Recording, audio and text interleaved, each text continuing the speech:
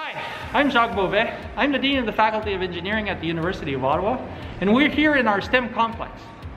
Everywhere we look, we're bombarded with images and news of 2020. The year kicked off with a wildfire so huge, it should have been a clear sign of what was to come. The global pandemic has taken over and completely flipped our lives upside down. Many of us have suffered from isolation and the loss of our support networks. Even my closest colleagues, would I even recognize you if I were to come across you in person anywhere? Some of you have taken this time to reboot, to get back to basics. That's really great. But there are still many unknowns. Will we ever get to hang out in our super cool new spaces on campus? Will we ever get the chance to defend our title at the Panda Game?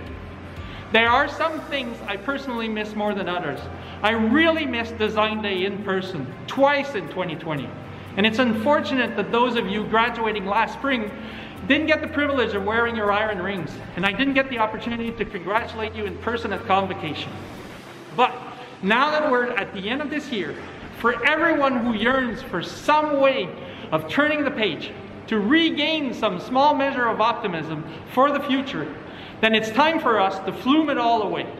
And if you've tried other ways to forget this year and nothing seems to help, well, enter the flume, our approved 2020 repellent, an alternative to the most common coping mechanisms, an opportunity to cleanse. For all of you who are sick of 2020, this is for you. I'm now standing right next to our Civil Engineering Hydraulics Laboratory, where the brand new flume is located. Our researchers in hydraulics, collaborating with our team in CEED and the Makerspace, have designed and built a structure to represent everything that happened in 2020. Together, let's flume 2020 all the way. Two, one.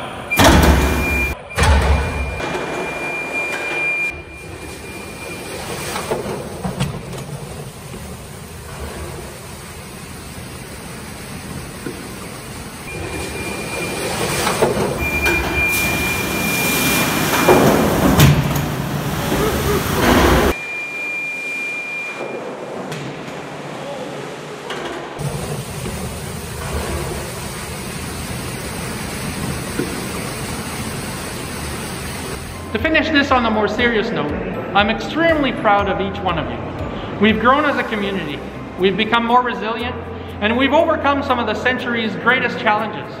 We have demonstrated compassion for one another, resilience, solidarity, and great optimism. On behalf of the faculty, I commend you. What lies ahead? A new year, a new beginning, a chance to take on some of our other really big challenges and to have an impact. We will be here to greet you back on campus in 2021, whether that's in person or from a screen for just a little while longer. One thing's for sure, you've made us, the professors, the staff members, your family members, extremely proud.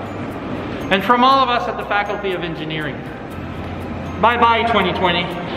Let's not ever see you again.